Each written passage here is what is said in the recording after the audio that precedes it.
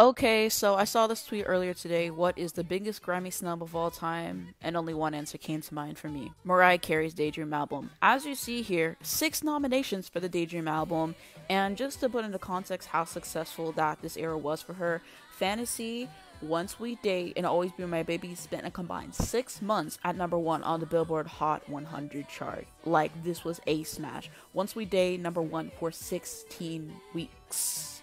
And so the fact that she goes home with nothing, mind you, she opened up the ceremony with Boyz II Men singing One Sweet Day, like just egregious. Fantasy is one of the best pop songs of all time. Always Be My Baby is one of the best R&B songs of all time. So the fact that they gave her absolutely nothing for the ceremony, oh, they will burn. One of the biggest Grammy snubs of all time. She should have swept all these awards. I do not care.